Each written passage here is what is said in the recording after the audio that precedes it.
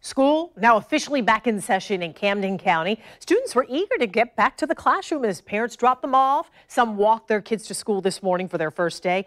But one thing was missing. No crossing guards were in sight at Matilda Harris Elementary School in Kingsland. Tonight, News4JAX reporter Brittany Muller speaks with the school board.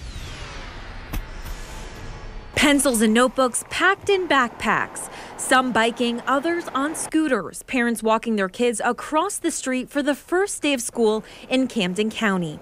The only thing not seen this morning at Matilda Harris Elementary School was a crossing guard. I have come in the morning time and experience cars don't want to stop. Crystal Cohen has a fourth grader and a little one in kindergarten. She says during drop off and pickup hours, it can get hectic on Lakes Boulevard. There's a lot of walkers that walk to school every morning and even home. So I think there really should be a cross guard here at Matilda.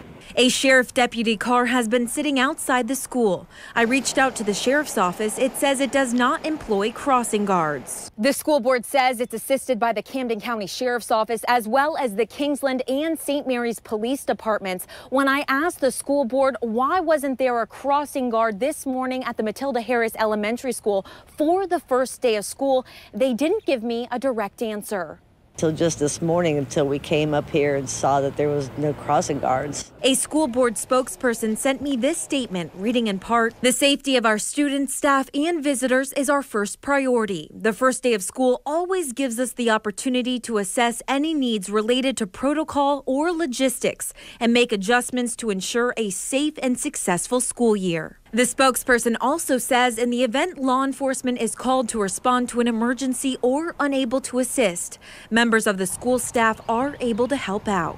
In Camden County, Brittany Muller, Channel 4, the local station.